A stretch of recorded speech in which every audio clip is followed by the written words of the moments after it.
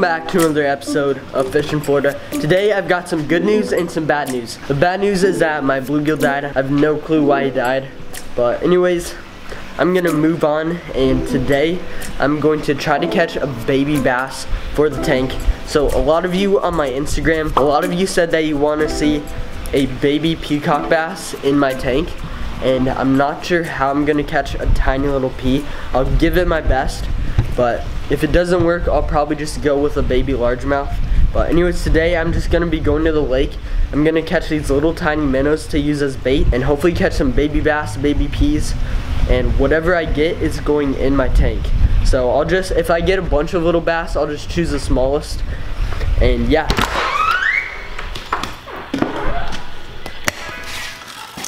Alright guys, I got a net, a bucket, and an aerator. Made it to a spot where there's usually a lot of little minnows. Let's see. I see a few already.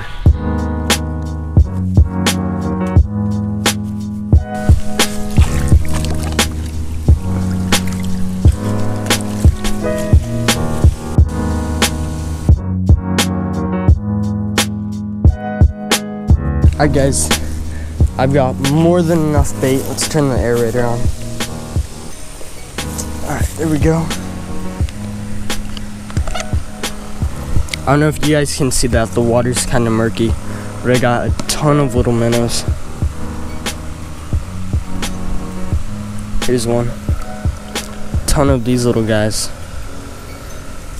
Now let's go see if I can catch some little bass with this.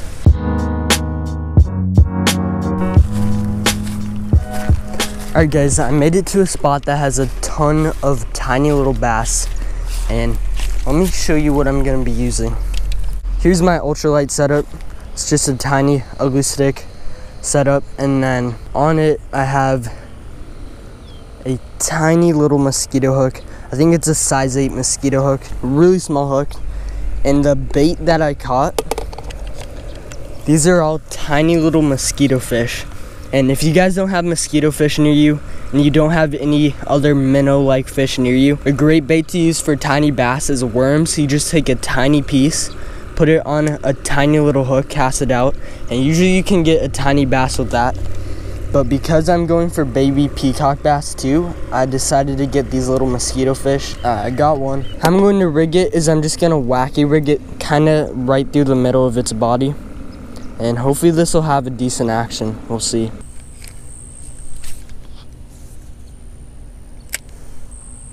Oh, got, oh, it's a bluegill. Dang it. All right, it's not a little bass, but I got a bluegill on the minnow. All right, I'm gonna save this, maybe use this as a live bait, but that was pretty cool. Let's put him in the bucket. Okay, here's a bluegill, just a little guy. Let's toss him in the bucket and get another minnow.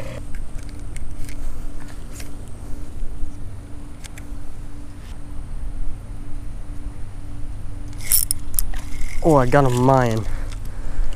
Alright, well, it's not a little bass. Oh my gosh. Alright, here he goes. Alright guys, got another minnow hooked through the tail. Cast it out.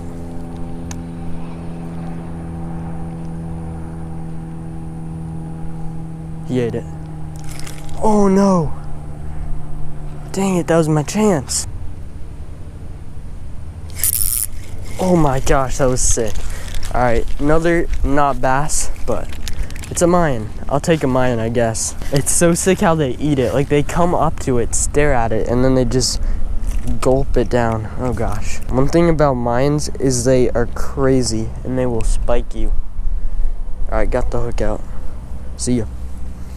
All right, there's a tiny, tiny bass right here. That would be perfect. Oh, and he ate it. I got him. Let's go. Let's go, guys. All right, first little bass. Here we go. First little bass. He's a little big. I'll keep him just in case, but he is a tad bit big for my tank. Yeah, he's definitely a little big. All right, I'm gonna release him. He's a little too big for the tank. See ya.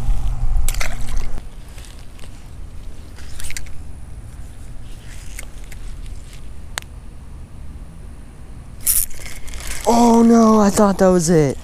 It's another bluegill. Dang it. I thought this was it. All right, here we go. This is it. I'm using a baby Mayan cichlid. If this doesn't get a tank monster, I don't know what will. Here we go. Best bait, tiny Mayan cichlid, because they never stop swimming. I just gotta hook him good. Got the baby Mayan cichlid. Let's get her tank pet. No, no, no. I had it. I had it. Okay. I see it. Guys, I see our tank pet. Oh no. Oh my gosh. Oh my gosh. That is not what I was after. Oh gosh. Oh gosh. Alright.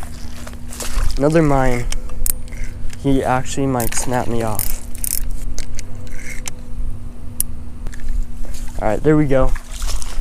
Oh, I still got my bait. This big Mayan ate this little Mayan. I didn't want to say it. I wanted it to be a surprise, but this little baby peacock kept going for my fish. And I was trying to get that, but this Mayan ate it. That's a pretty big Mayan. Oh gosh, alright. Oh my gosh, there's a pea right there. Alright, let's throw this back.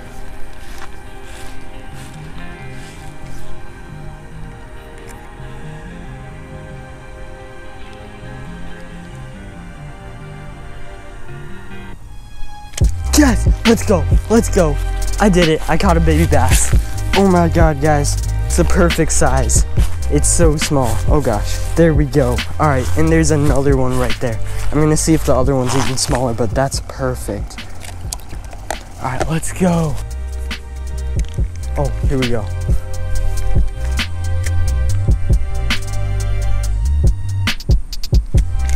Let's go, let's go. Guys, first the baby bass, next cast, a tiny baby pea. This day cannot get any better. I caught both species I set out to catch. Now I don't know which one to keep though. Tiniest pea. Look how small this little guy is. That's so cute. Alright.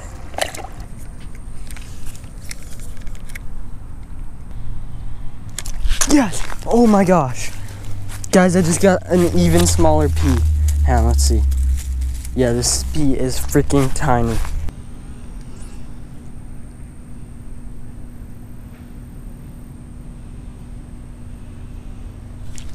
Oh my, dang it. I thought that was a pea. All right, it's a bluegill. See you, bud.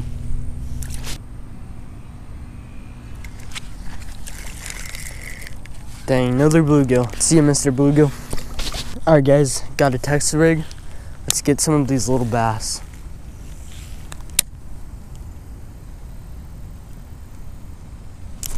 Oh, he had it. All right, what I'm gonna do since these are small, I'm gonna rip a Senko in half. And I'm gonna wacky rig half of it. All right, let's see if this works. Oh no.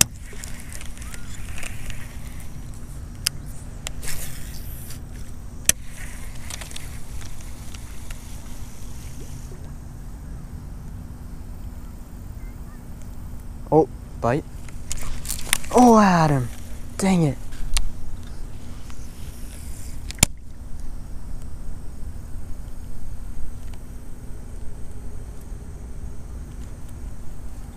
Oh, got him. Sick. It worked. The half Senko wacky rig. Here we go. See ya. Oh, his friend's right here. Let's get his friend. Got him. Oh gosh.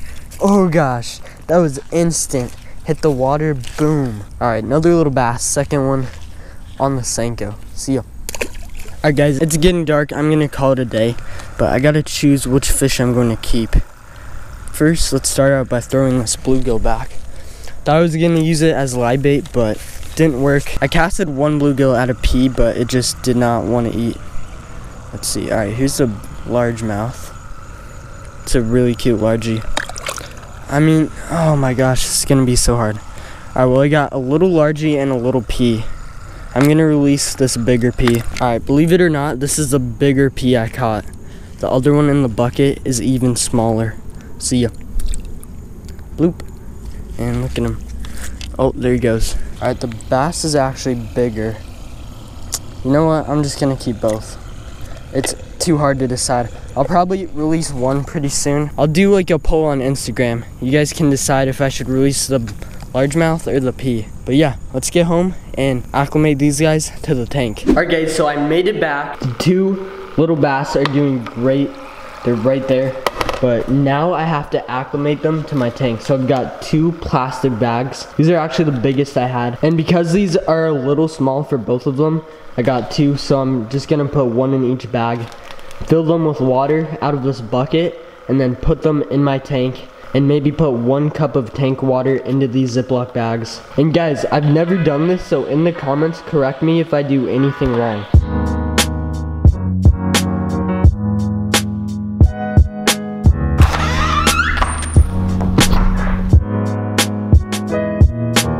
Alright guys, I've got the two bags in the tank. I'm gonna put a little bit of water from the tank in the bag just to help them get situated.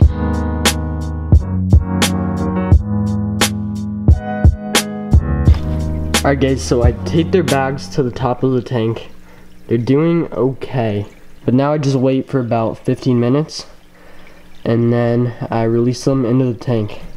So, see you guys in 15. Alright guys, it's been 15 minutes. The fish are probably mostly acclimated by now. So a good tip if you don't want to put pet store water or lake water in your tank is to dump the bag into a net over a bucket. Alright, there we go.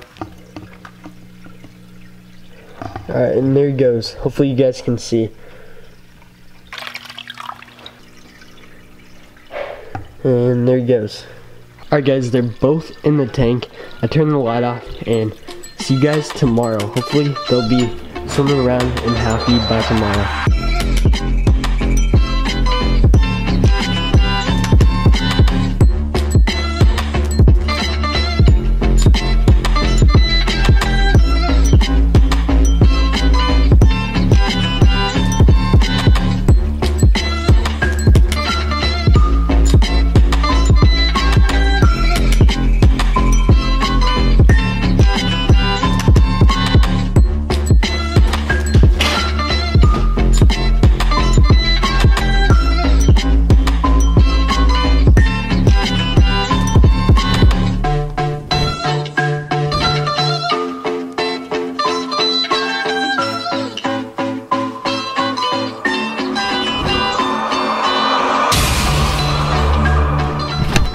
Alright guys, it's a couple days later.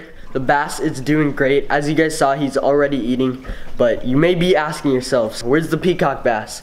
And I actually had to release the peacock bass, the jewel cichlid in the tank, and the bass. For some reason, they were both picking on the peacock. I don't know why they were doing that. What they were doing is both the bass and the jewel cichlid would nip at the peacock's fins. And I even saw the jewel cichlid try to hit it against the wall. So I just went ahead and released the P. He was doing fine. He looked pretty healthy and he was fine when he swam off. So anyways, yeah, now I just have a bass and two jewel cichlid. Comment below if I should keep these jewel cichlid. I've had them for a while, so. Alright, and one more thing before I end the video. Make sure you guys leave a comment on what you think I should name this bass. And yeah, that's pretty much it. Thanks for watching. Hope you guys enjoyed, and I'll catch you next time on the next episode of FishinFlorida.